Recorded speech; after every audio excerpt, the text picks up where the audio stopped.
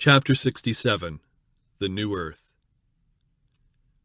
And I saw a new heaven and a new earth, for the first heaven and the first earth were passed away.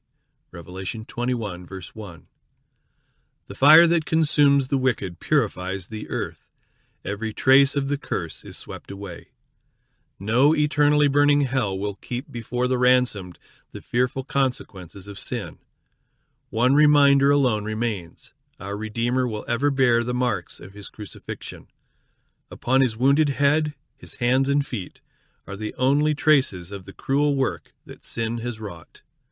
O tower of the flock, the stronghold of the daughter of Zion, unto thee shall it come, even the first dominion. Micah 4, verse 8.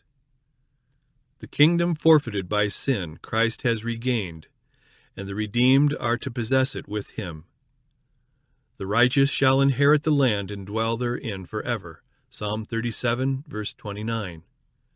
A fear of making the saints' inheritance seem too material has led many to spiritualize away the very truths which lead us to look upon the new earth as our home. Christ assured his disciples that he went to prepare mansions for them. Those who accept the teachings of God's Word will not be wholly ignorant concerning the heavenly abode. And yet the Apostle Paul declares, Eye hath not seen nor ear heard, neither have entered into the heart of man the things which God hath prepared for them that love him. 1 Corinthians 2, verse 9. Human language is inadequate to describe the reward of the righteous. It will be known only to those who behold it. No finite mind can comprehend the glory of the paradise of God. In the Bible, the inheritance of the saved is called a country. Hebrews 11, verses 14 through 16. There the great shepherd leads his flock to fountains of living waters. The tree of life yields its fruit every month, and the leaves of the tree are for the service of the nations. There are ever flowing streams, clear as crystal, and beside them waving trees cast their shadows upon the paths prepared for the ransomed of the Lord.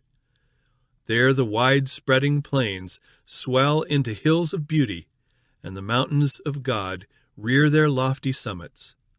On those peaceful plains, beside those living streams, God's people, so long pilgrims and wanderers, shall find a home.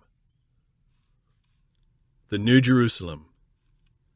There is the New Jerusalem, having the glory of God, her light like unto a stone most precious, even like a jasper stone clear as crystal. Revelation 21, verse 11. Saith the Lord, I will rejoice in Jerusalem and joy in my people. Isaiah 65, verse 19. The tabernacle of God is with men, and he will dwell with them, and they shall be his people, and God himself shall be with them, and be their God. And God shall wipe away all tears from their eyes, and there shall be no more death, neither sorrow, nor crying, neither shall there be any more pain, for the former things are passed away. Revelation 21, verses 3 and 4. In the city of God there shall be no night. None will need or desire repose. There will be no weariness in doing the will of God and offering praise to his name. We shall ever feel the freshness of the morning, and shall ever be far from its close. And they need no candle, neither light of the sun, for the Lord God giveth them light. Revelation 22, verse 5. The light of the sun will be superseded by a radiance which is not painfully dazzling, yet which immeasurably surpasses the brightness of our noontide. The glory of God and the Lamb floods the holy city with unfading light. The redeemed walk in the sunless glory of perpetual day. I saw no temple therein, for the Lord God Almighty and the Lamb are the temple of it. Revelation 21, verse 22. The people of God are privileged to hold open communion with the Father and the Son. Now we see through a glass darkly. 1 Corinthians 13, verse 12. We behold the image of God reflected as in a mirror in the works of nature and in his dealings with men.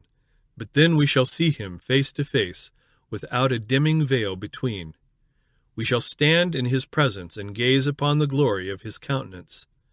There immortal minds will study with never failing delight the wonders of creative power, the mysteries of redeeming love. There is no cruel, deceiving foe to tempt to forgetfulness of God. Every faculty will be developed, every capacity increased.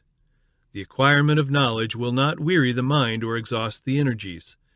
There the grandest enterprises may be carried forward, the loftiest aspirations reached, the highest ambitions realized, and still there will arise new heights to surmount, new wonders to admire, new truths to comprehend, fresh objects to call forth the powers of mind and soul and body.